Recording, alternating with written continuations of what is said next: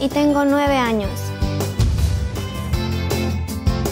Lo que más me gusta de nuestro país son los paisajes, la vegetación y todos los restos históricos que quedaron de nuestros antepasados.